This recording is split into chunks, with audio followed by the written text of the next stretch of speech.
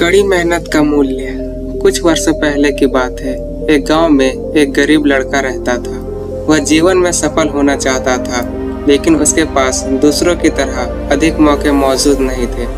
इसलिए उसने अब कड़ी मेहनत करने और नए कौशल सीखने का फैसला किया। उसने अखबार बांटना और बर्तन धोने जैसे छोटे मोटे काम करने शुरू कर दी धीरे धीरे वो पैसे बचाता रहा, जिससे कि वो इस जमा किए हुए पैसों से एक कंप्यूटर खरीद सके। अब उसने कंप्यूटर खरीदने के लिए पर्याप्त पैसे जमा कर लिए थे। उसने खुद को प्रोग्रामिंग सिखाई, जिसके लिए उसने सेकेंड हैंड बुक्स का सहारा लिया और यूट्यूब से बहुत से फ्री क्लासेस लिए और आखिरकार एक टेक कंपनी में नौकरी कर ली। उसने फिर कड़ी मेहनत करी और अपने जॉब में एक सफल उद्यमी बन गया। सीख, कड़ी मेहनत और दृढ़ संकल्प आपको बहुत आगे ले जा सकते हैं।